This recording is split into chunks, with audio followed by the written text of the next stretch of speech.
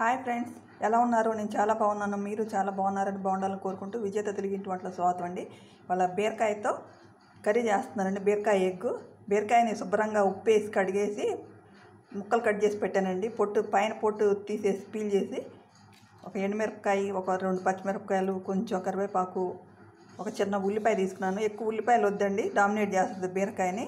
తీపి వస్తుంది కూర. అందుకని తక్కువ ఉల్లిపాయ తీసుకోవాలి. ఎగ్స్ని ఉడకబెట్టే విధానం చూపిస్తా చూడండి ఫ్రెండ్స్. స్టవ్ వెలిగించి ఈ గిన్నె పెట్టేసి కొంతమంది పిల్లలకి తెలియదండి దానికోసం నేను చూపిస్తున్నాను.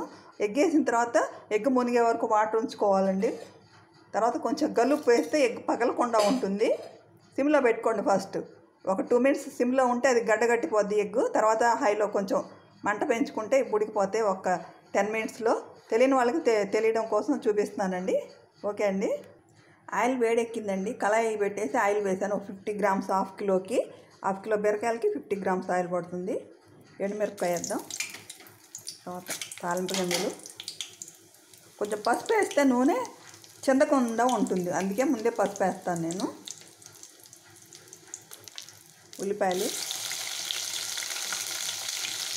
పచ్చిమిరపకాయలు.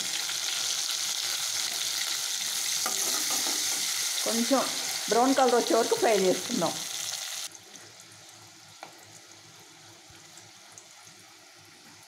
బ్రౌన్ కలర్ వచ్చేసినాయండి. ఈ బీరకాయ ముక్కలు వేసేద్దాం.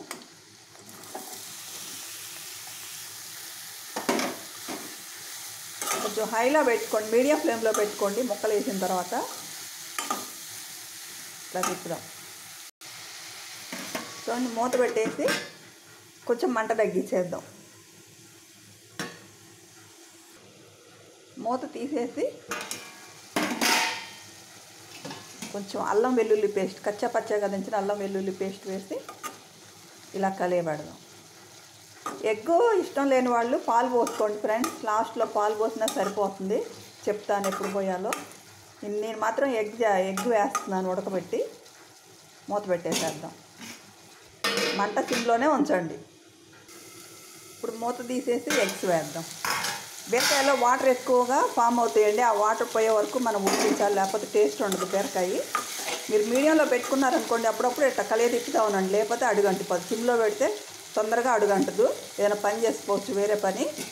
ఇప్పుడు ఎగ్ చేసాం కదా తర్వాత కారం వేసేద్దాం. వాటర్ మొత్తం పోయిన తర్వాత ఇప్పుడు మూత తీసి ఉప్పు కారం వేసేద్దాం.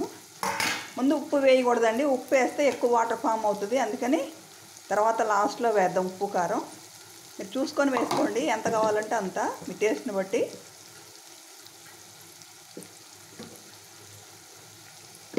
కలిపేసి మళ్ళీ మూత పెట్టేసి ఒక టూ మినిట్స్ ఉంచేద్దాం. ఇప్పుడు మూత తీసేసి కొంచెం కొత్తిమీర యాడ్ చేద్దాం. కొంచెం garam masala powder whole garam masala powder లైట్గా వేసుకోండి. మరి ఎక్కువ వేస్తే ఘాట్ ఎక్కువైపోద్ది. తిప్పేసి స్టవ్ ఆఫ్ చేసేసుకోవడం ఇప్పుడు పాలు పోసుకోండి. ఎగ్స్ ఇష్టం లేని వాళ్ళు ఎగ్స్ వేయకండి. ఇప్పుడు పాలు పోసేసి ఒక టూ మినిట్స్ ఉంచితే సరిపోద్దండి. ఇది బాలింతలకి చాలా మంచి ఫుడ్ ఐటమ్ అండి. పాలు బాగా పడతాయి బాలింతలకి. సో వేడి శరీరం ఉన్న వాళ్ళు కూడా ఈ బీరకాయ తీసుకున్నారనుకోండి వేడి తగ్గిపోతుంది బాగా చలవ చేస్తుందండి. చాలా మంచి ఫుడ్ ఐటమ్. ఇంకా స్టవ్ ఆఫ్ చేసేసి సర్వ్ చేసుకోవడమే ఫ్రెండ్స్. ఫ్రెండ్స్ బీరకాయ ఎగ్ కర్రీ ప్రిపేర్ అయిపోయిందండి. మీరు కూడా ఒకసారి ప్రిపేర్ చేసుకొని టేస్ట్ చూసి ఎలా ఉందో నాకు కామెంట్ రూపంలో తెలియజేయండి ఫ్రెండ్స్. నా ఛానల్ మాత్రం సబ్స్క్రైబ్ చేయడం మర్చిపోవద్దు. ఫిఫ్టీన్ మినిట్స్లో అయిపోతుందండి. ఈజీ కర్రీ చాలా హెల్తీ ఫుడ్ ఐటెం పిల్లలకు పెట్టండి పెద్దలకు పెట్టండి మీరు తినండి. చాలా మంచి ఫుడ్ ఐటమ్ ఫ్రెండ్స్.